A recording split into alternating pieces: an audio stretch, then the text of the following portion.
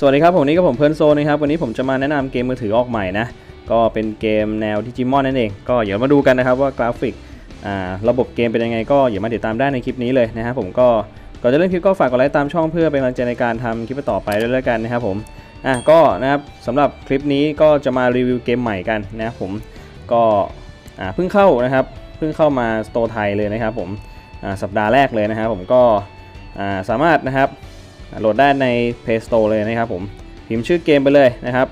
Digi n o m i n i o n นะครับผมก็เป็นเกมออกใหม่นะครับผมสำหรับนะครับใครนะที่เคยเป็นแฟนพันธ์แท้นะครับของเกม Digimon นะสมัยสมัยเด็กเนาะก็ลองดูเกมนี้แล้วกัน ผมบอกเลยว่าเกมภาพสวยมากนะฮะแล้วก็ระบบเกมค่อนข้างดีนะครับ เหมือนเกมโปเกซัก้าเลยครับ เกมนี้ครับเป็นการต่อสู้แบบเทิร์นเบสนะ ก็ 4 ต่อ 4 นะครับผม การออก skill การกดใช้ skill การอัปเกรดพลังเนี่ย จะคล้ายๆกับเกมโปเกสก้าเกมโปเกมอนเลยนะอะดิจิมอนโปเกมอนก็เพื่อนกันแหละนะครับนี่ครับตัวละครที่เราจะให้เลือกฮะก็มาถึงเนี่ยนะครับเขาจะให้เราเล่นนะครับ ตัวละครตัวเอกนะ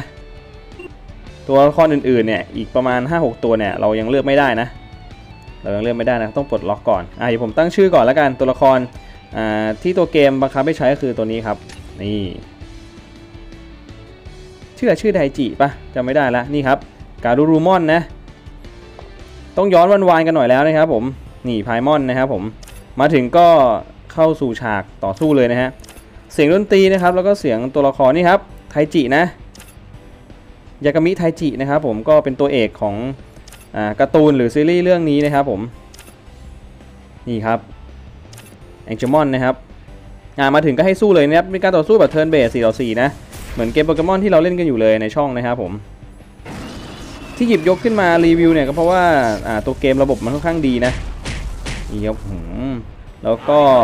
กราฟิกเนี่ยทำออกมาสวยมากนะครับ เป็น 3D โมเดลที่สวยมากๆเลยนะครับ แล้วก็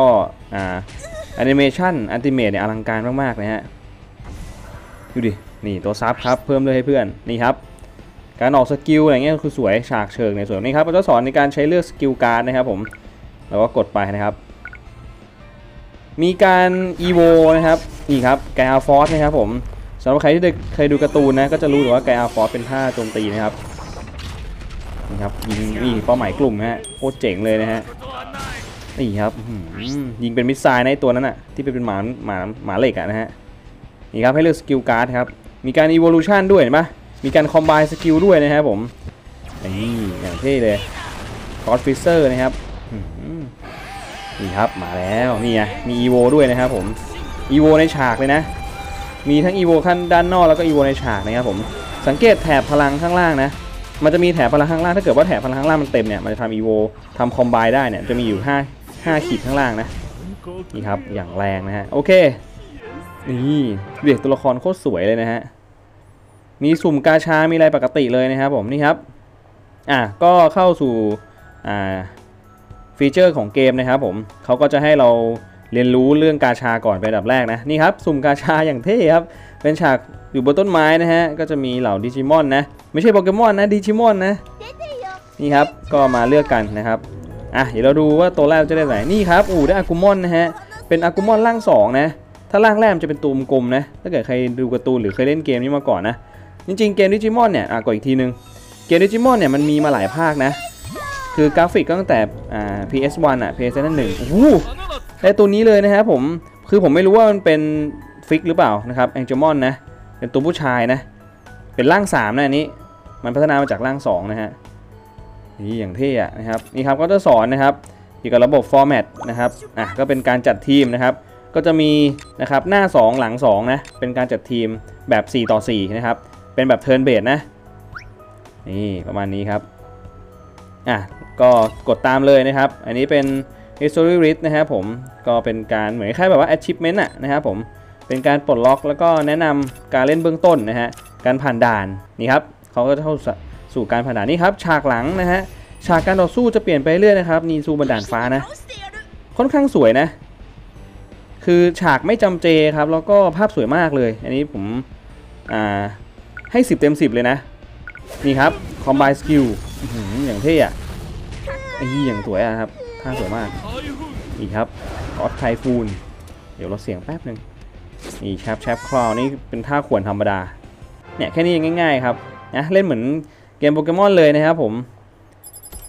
นี่เล่นง่ายนะ turn turn-based นะครับ level สองแล้วนะครับ นี่ครับก็จะปลดล็อกเกี่ยวกับเรื่องระบบ quest นะ คือมันจะมีไกด์บอกตลอดเลยครับว่าเลเวลเท่าไหร่นะครับ ปลดอะไรนี่ครับเราก็รับของได้นะครับ มันจะเป็น main quest นะฮะ ก็เหมือนเราทำเอฟชิเมนไล่วันเนาะ พอเราทำเสร็จเนี่ยเราก็ได้รับ quest พอทำ quest เสร็จเราก็จะรับของอะไรประมาณนี้นะอะแล้วก็มีไปดูตรง news นะเป็นกระดาษแปะที่อยู่ตรงฝาผนังนะมันจะพาเราไปเล่นโหมดต่างๆนี่ครับพอเราเข้าไปในฉากนะ มันก็ให้เราเดินด้วยนะ เราก็แค่กด move ขวานะครับเนี่ยเราก็เดินไปเนี่ยครับพอเจอดิจิมอนระหว่างทางเราก็ต้องสู้กับเขาประมาณนี้นะครับนี่ไอตัวเล็กเห็นไหมไอตัวเล็กบอกร่างหนึ่งจะเป็นตัวกลมนะอ่ามันจะแปลงในผมเรียกร่าง baby แล้วกัน นะครับมันก็จะแปลงร่างเป็นร่างชิวก็คือร่างเด็กนะครับแล้วเป็นร่างอดูก็คือเป็นร่างโตเต็มวัยนะครับผมนี่ครับอันนี้ skill มันนะเราสามารถอ่านดู skill ได้นะครับว่า skill มันเป็น damage กลุ่มหรือ damage เดี่ยวนะครับเป็นธาตุอะไรนะครับปล่อยมาเลยตีครับอย่างสวยเลย skill โคตรเท่นะครับแองเจมอนตัวนี้นะระบบเกมค่อนข้างดีนะ ผมบอกก่อนเลยครับใช้ได้เลย แล้วก็ไม่กินสเปคด้วยนะครับเกมค่อนข้างลื่นนะค่อนข้างไหลลื่นแล้วก็สวยมากภาพนะครับผม ดูดิฉากลงฉากหลังแบ็กกราวใช้ได้เลยนี่ครับมันให้เราสู้กับการูโรมอนนะครับร่าง 3 ที่เป็นหมานะนี่มาเข้าสู่ฉากต่อสู้นะครับ นี่เรียกพวกมาอีกสองตัว ก็เป็นร่างหนึ่งร่างสองร่างสามไปแหละอย่างเท่เลยครับนี่ครับอะเขาก็จะให้เราฝึกใช้ท่านะครับเป็น EVO นะครับ Combine Skill นี่นะครับก็ไทฟูนแถบพลังอยู่ด้านบนนะ กรอบสีแดงนี่ครับเปลี่ยนร่างครับ EVO ในฉากนะนี่ถือว่าเป็นเกรมอนหรือเปล่าใช่ปะเป็นเกรมอนป่ะไม่แน่ใจเขาดูก่อนนี่ทุกคนน่าจะเคยคุ้นหน้าคุ้นตาไอ้ตัวนี้นะครับ เป็นตัวละครเอกนี่ครับเมก้าเฟรม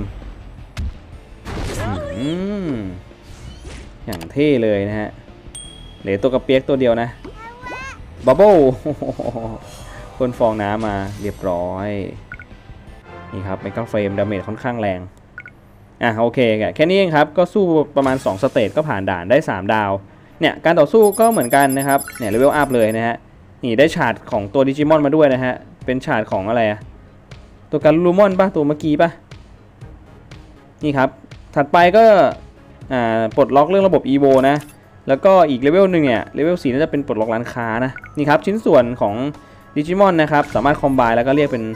อ๋อซูโนมอนนะครับผมเป็นร่าง baby นะซูโนมอนนี่น่ารักมากเลยอะต่อไปกดทีมนะครับนี่ครับเขาก็จะให้เรากดไปที่ตัวดิจิมอนนะแล้วก็ evolution นะครับนี่ครับเราสามารถ evo ได้ไปตัวนี้นะเป็นกาบูมอนนะฮะคุณคุณไหมคุณคุณไหมต้องคนที่เกิดประมาณยุค 2000 ขึ้นไปอะการ์ตูนนี้ก็เกือบ 20 ปีแล้วนะครับประมาณ 20 ปี มาหลังโปเกมอนหน่อยนึง นะครับ แต่ว่าไม่มีภาคต่อนะ ภาคต่อน้อยนะครับ แล้วก็เมื่อปี 2 ปีก่อนเนี่ยจะมีอ่า The Movie นะครับฉายแต่ว่าจะเป็นตัวละครตอนตัวละครมันโตแล้วนะครับ แต่ว่าตัวดิจิมอนยังเหมือนเดิมนะฮะ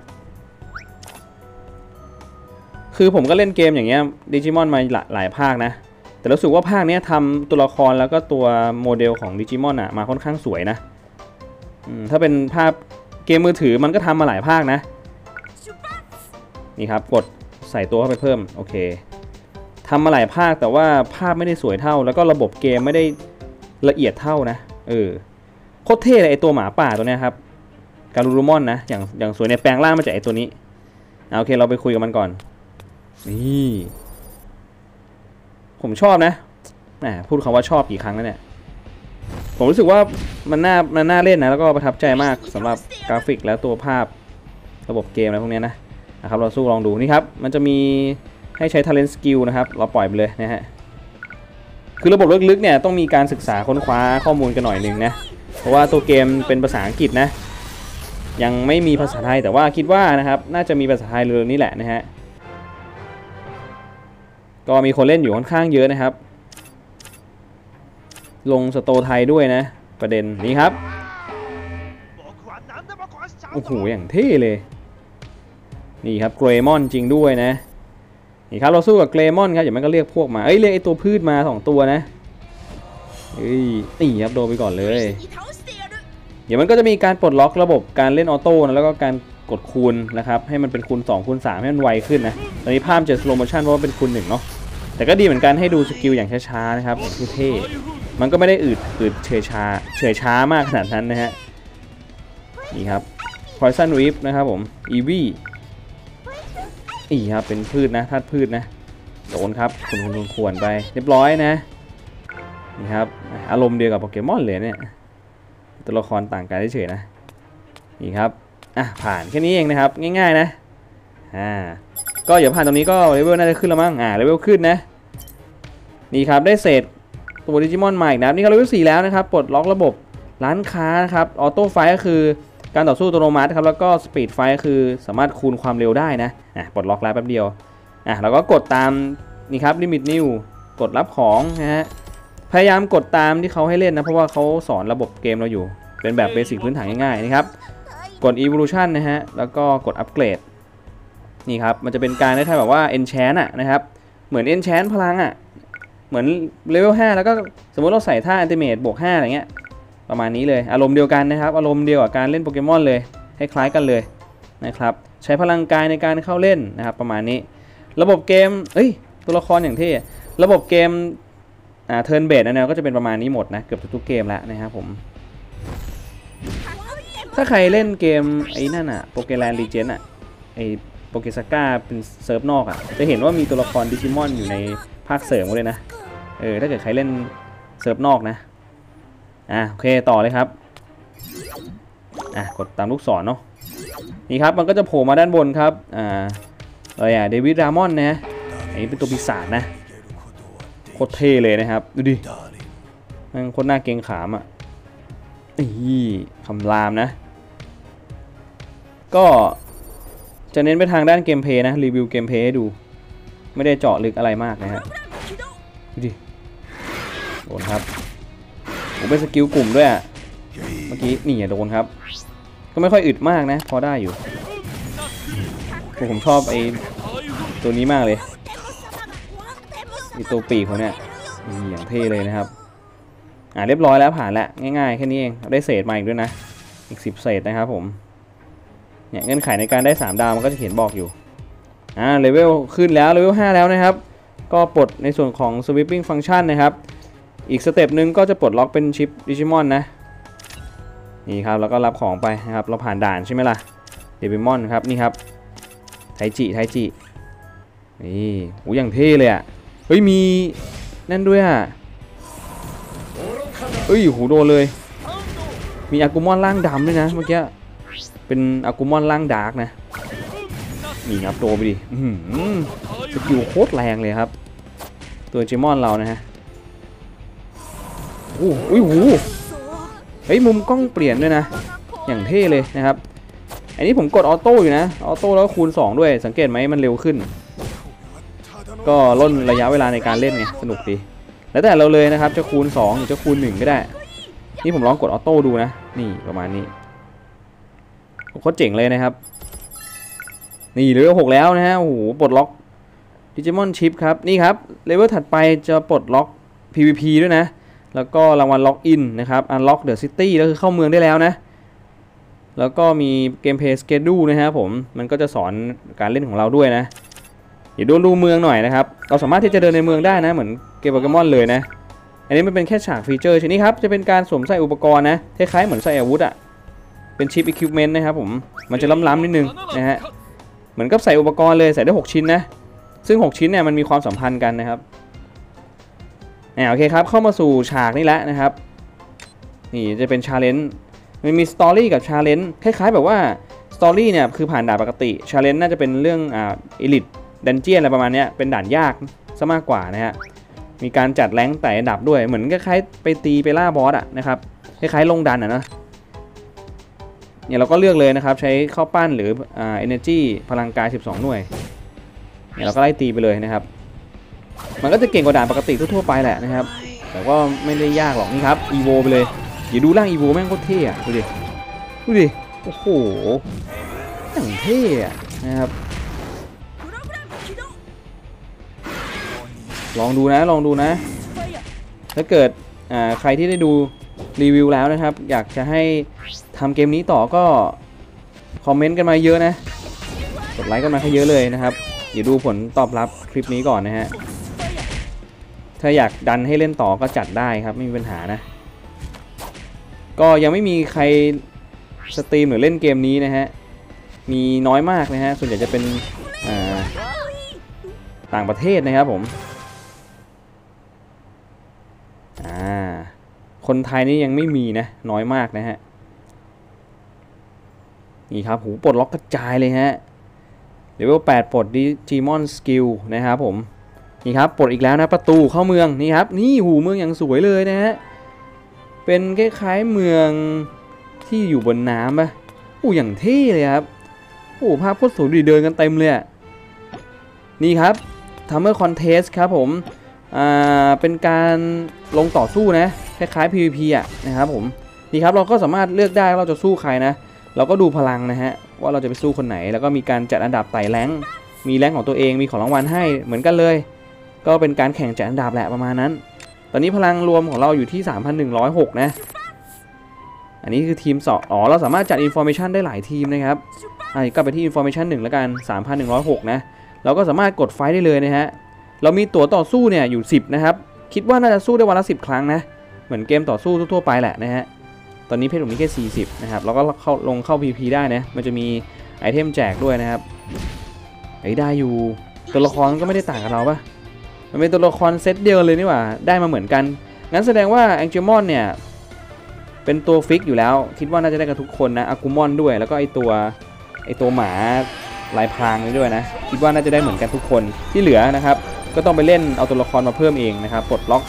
อตัวละครเขาเรียกว่าเด็กที่ถูกเลือกจำได้ไหมถ้าใครเคยดูการ์ตูนภาคไทยอะเขาเรียกว่าเด็กที่ถูกเลือกครับ มันจะเข้ามาสู่โลกดิจิมอนนะกูต้องไปดูการ์ตูนเอานะฮะถ้าเรา ชั่วโมงหนึ่งก็ไม่จบนะฮะ เป็นการ์ตูนในอดีตสมัยเด็กๆเลยนะครับ ย้อนไปเลย 20 ปีตอนนั้นยังเด็กน้อยอยู่นะฮะนี่ครับต่อสู้ประมาณนี้นะครับสุดยอดครับ มันมากนะ อะตีไป นี่ครับก็ชนะไปนะครับ สังเกตไหมมันจะมีเสียงพูดเสียงร้องของตัวการใช้ท่าต่างๆ ก็จะมีเอฟเฟกต์เสียงการบอกสกิลบอกท่าด้วยนะครับ เหมือนในการ์ตูนเลยนะครับ ดนตรงดนตรีนี่เหมือนกันเป๊ะเลยนะฮะโอเคกลับมาที่ฟีเจอร์อีกครั้งหนึ่งนะครับเดี๋ยวผมจะพาไปดูว่ามันมีอะไรบ้างนะฮะไปดูฟีเจอร์หน้าต่างเกมกันนะครับ อันนี้ก็จะเป็นอ่า daily นะครับ เป็นกิจกรรมรายวัน เราก็มารับของได้นะครับ นี่ครับก็จะมีเยอะไปหมดเลยนะครับ ก็จะมีตั้งตั้งแต่ quest เลยนะทั้งล่างนะ มีพวก store ด้วยอะอย่าไปดูร้านค้ากันหน่อยหนึ่ง store นะฮะเนี่ยก็จะมีของขายนะฮะ ก็ใช้เพชรซื้อใช้ทองซื้อใช้แต้มซื้อนะครับ ก็มีแฟร์ชุดแฟชั่นด้วยหลาย ๆ อย่างนะฮะ มีชิปอุปกรณ์ด้วย กระเป๋าก็เป็นกระเป๋าที่เราของใส่นะครับ แล้วก็จะมีพวกกิจกรรมต่าง ๆ นะครับ ส่วนใหญ่ก็จะเป็นพวกกิจกรรมล็อกอิน 7 วันอะไรประมาณนี้นะฮะ แล้วก็พาร์ทเติมนะครับ สายเติมเงินนะฮะ เติมได้เพชร เติมได้ของ เติมได้ไอเทมต่าง ๆ นะฮะ ก็สามารถมาดูได้นะครับ ก็ทำความเข้าใจก่อนนะกับเกมนี้ก่อนแล้วค่อยตัดสินใจว่าจะเติมหรือจะฟรีนะฮะนี่ครับนี่คือของรางวัลที่เราจะได้อันนี้เป็นอ่า Digi Pass นะครับก็คือเหมือน battle pass อะนะครับทุกเกมมี battle pass อยู่แล้ว ถ้าเป็นเกมแนวออนไลน์แบบนี้นะ อันนี้ก็จะเป็นกิจกรรมนะครับ มันก็จะมีกิจกรรมสำหรับเปิดเซิร์ฟอยู่นะครับหลายกิจกรรมมากนะฮะแถวๆด้านบนนะเนี่ยเป็น lucky wheel นะฮะวงล้ออะไรประมาณนี้นะเนี่ยคล้ายเกมโปเกมอนเลยนะฮะแต่ตัวละครเป็นดิจิมอนนะ อ่าวันนี้ครับนี่คือล็อกอิน 7 วันนะ ก็ทำกิจกรรมแล้วก็มารับของรางวัลได้นะครับ มันเป็นกิจกรรม 7 วัน แต่ในแต่ละวันจะมีกิจกรรม quest ไม่เหมือนกัน มันก็เหมือนกับการเล่นไปแต่ละวันแหละนะครับ มันก็จะเก็บ achievement ไปแล้วก็มาปลดล็อกนั่นเอง ตัวนี้ก็จะเป็นอีเวนต์ครับที่เราจะต้องทำหลายๆอย่างนะ ก็ระบบผมบอกเลยระบบเกมค่อนข้างละเอียดและดีมากนะ เออ ถึงจะเป็นภาษาอังกฤษครับแต่ว่าไม่เป็นไรเดี๋ยวผมแปลให้นะครับผม อะโอเคนะครับผมก็ประมาณนี้ก่อนละกันสำหรับการรีวิวเกมดิจิมอนภาคใหม่ล่าสุดนะ ภาพสวยมากนะครับผมโอเคผมก็ก่อนจะจากกันนี้ครับก็ฝากกดไลค์กดแชร์นะครับผมกด subscribe จากมันโซนนะครับเพื่อเป็นกำลังใจให้กันนะครับแล้วก็กระดิ่งไปแจ้งเตือนคลิปใหม่ๆนะครับผมเพื่อใหม่คลิปหน้านะครับผม see you again สวัสดีครับ